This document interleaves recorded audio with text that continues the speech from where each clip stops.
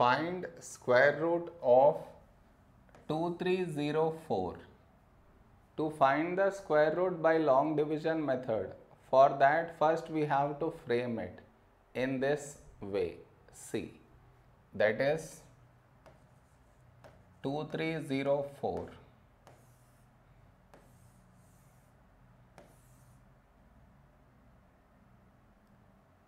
Okay, next. Now we should divide the given number into pairs. Starting from this side, these two numbers one pair and these two numbers another pair. Here we have 23. 23 is not a perfect square. So now we should check 23 will lie between which two perfect square numbers. And the perfect square numbers are these.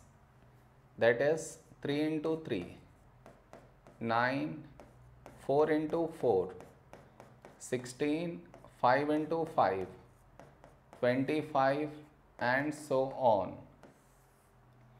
These numbers are called perfect squares. Here we have 23, 23 lies between these two numbers. So we take the smaller number that is 16. 16 is for 4 times 4. So here we take 4, 4 and here 16. Now you subtract. 23 minus 16 is 7. Now this pair will come down making it 704. Here we should add these two numbers that is 4 plus 4. We get 8. Okay, next. Now we should write a number here. Condition is whatever number you write here, here also you should write the same number. And also when you multiply this number and this number, the resulting number should be either this or smaller than this but not beyond this. Okay, so let us find the number here. If I take 3, 83 into 3, these two numbers should be same. 3 into 3, 9, 3 into 8, 24.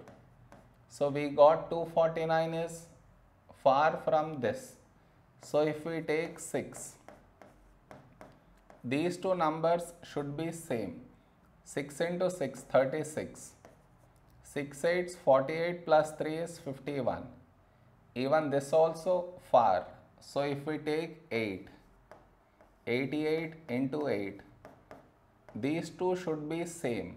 8 into 8, 64. So 4, 6. 8 into 8, 64 plus 6, 70. So we got exact 704 for the number 8. So here we take 8 and here also 8 and here 704. Now we should subtract. So 704 minus 704 we get 0. We got 0. That means given number is a perfect square and the square root of 2304 is this number that is 48. So this is our answer. Am I clear?